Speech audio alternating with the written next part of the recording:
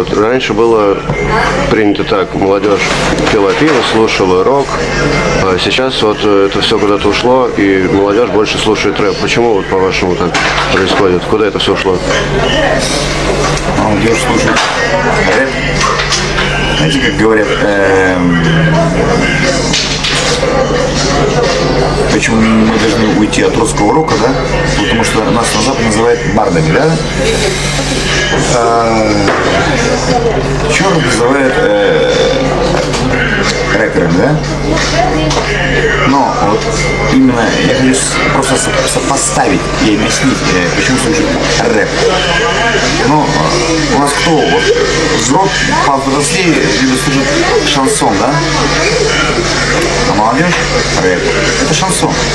Одно и то же. Ведь э, песня о чем поется, там немножко, допустим, шансон, да, м, еще такое слово подобрать, ну, зоновские темы или, не знаю, шансон, там, не знаю, там, мой номер 245, на перекладинке опять, да, ну, шансон, да?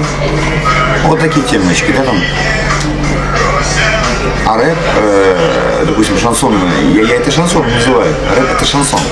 И это реально шансон. О чем они поют, ты знаешь? О чем? Ну, Я сейчас переведу. Про улицу,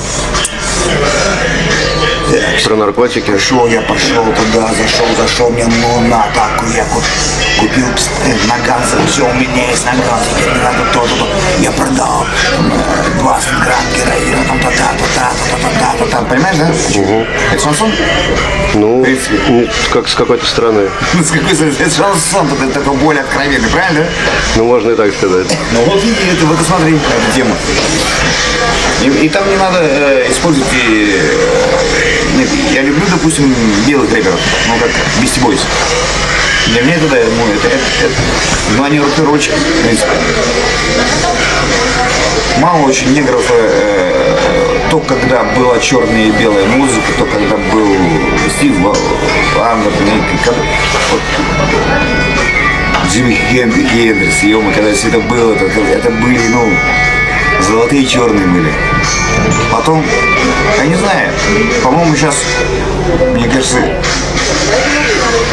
блюз, вот блю- блюзменам, да, вот старикам, вот, ну, ну, откуда все пошло, джаз, блюз, да, им стыдно, что, что делают их отпрыски. Понимаешь, да? А за белых боятся, я думаю, белые...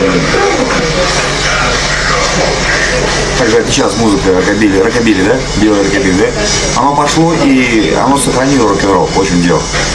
Черные не сохранили его, очень дело. Поэтому я думаю, Джимми Хендрикс сейчас очень печалится в могиле. Правильно? Ну, не исключено. Я думаю, это так.